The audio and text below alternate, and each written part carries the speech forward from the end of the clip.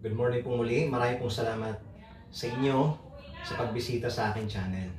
So sana po ay may, matutunan po muli kayo, muli kayo sa aking ibabahagi today. So maraming pong salamat sa mga nag-subscribe na. Sa mga hindi pa po nagsasubscribe, please subscribe na po tayo and press the bell button para naman po ma-notify po tayo pag may mga bago po ako mga videos na isi-share po sa inyo. Okay po. So, ah, alam po naman po natin pagka namimili po tayo. So, madalas, sa madalas, ang una po natin pinipili ay yung mga branded. Normal naman po yun. Siyempre po, kahit naman po siguro sino, siyempre unang titingnan po ay yung branded. So, may branded at may mas branded. So, ito pong i-share ko sa inyo ngayon is yung branded naman po siya eh, di ba? So, sa akin po importante na ah, una yung brand, pero tingnan din po natin specs by specs po kung ano po yung maganda dun sa binibili natin. Okay? So, ito po. So, ngayon, titingnan po natin ano po ba yung bibili ka pa ba ng Nova 7i kung meron na lumabas na Nova SE. At the same time, ah, bibili ka rin ba ng Nova 7i versus other brands. Okay po? So, bibigyan ko po kayo ng tatlong rason kung bakit po maganda pa rin bilhin ang Nova 7i. Okay po? So, first ay dahil sa AI quad camera niya. So, ano po ito? Meron po siyang 22 scenery effect. Ano pong ibig sabihin nito? So, para po mas maging crispy, maganda ang kalalabasan ng proseso para maging picture po siya, ito po yung ginagawa ng quad AI niya. Ibig po sabihin, kung ang halimbawa po ang scenery nyo is ah, bundok, scenery is hayop siya or halaman siya, tao man siya. Kumbaga, sinasabi niya, ah, parang 360 effect yan. Hindi naman po. Ibig po sabihin nito, talagang inilalabas niya, ini-enhance niya yung kinukuhanan niyang bagay. Ganun po ang epekto ng Quad AI na ginagamit po ni Huawei. Okay po. Alam niyo po ba na itong Nova 7i ay merong 398 ppi. Ano po yung ppi? Pixel per inch po siya. Ibig ko sabihin, the more na mas maraming dots, mas maraming holes, pixels, ibig ko sabihin po nun, mas refined po siya. Mas defined po siya, mas clarified po siya. Ganun po.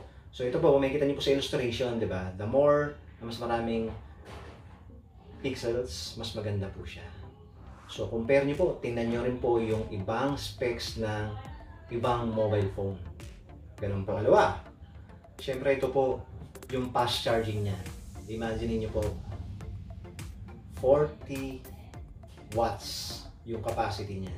Imagine niyo po, 30 minutes kaya niyo po mag charge ng 70 watts kagad.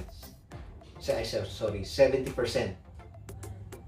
yung sa battery natin. Imagine niyo po yun. Kung mahilig po kayong mag-games, marami po kayong ginagawa using your phone, ito po ay nararapat yung bilhin dahil po dito. At the same time, basta tandaan po natin ha, yung charger niya po, pag ginamit niyo po yung sa ibang phone, gagana po siya, mag-charge po siya, pero hindi po siya as 40 watts. So kung compare naman po natin naman, 'di ba, na kung ibang charger natin, 'di ba, kung compare niyo yung charger na to sa iba, 15 watts, 20 watts lang yung capacity. Ito po 40 watts, 'di ba? So kumbaga eh mako-compensate niya yung 4,200 lang na mAh niya na battery life. Dahil madilis ka namang, mabilis ka namang makakapag-charge dahil dito. So, kumbaga, give and take lang po yan eh mababa yung sa tingin niyo po kung mababa pa yung 4,200 mAh, ito po yung fast charging niya. Okay po? Next, pangatlo, yung kanyang chipset. Yung ginagamit niya po na Kirin A10 na chipset. Alam niyo po ba na kung i-compare niyo po yan sa ibang branded and sa price range po na almost 10,000 to 12,000 price difference, eh mas mabilis pa po itong ginagamit ng Huawei. Paano nangyari yun? Dahil po sa ginagamit ni Huawei na 7nm. Ano po yung ibig sabihin ng nm? nanometer po siya. Ang ibig kong sabihin nun, ito po sa illustration, may kita nyo. Alam niyo po ba, 10, 15 years ago, 20 years ago, gumagamit yung CPU natin ng 30 nanometer. O ano naman significance na itong 7nm? Ibig kong sabihin, the shorter po, na 7nm siya, compare sa, yan, titingnan na lang po natin sa ano, di ba? Bilang sa illustration. The shorter, 7 nanometer, ibig po sabihin, konti lang yung tatakbuhin niya para ma-process po siya. Ano po ibig sabihin nun? Better performance and more power. Ibig po sabihin, kaya po sinasabi natin, makunat po ito sa battery.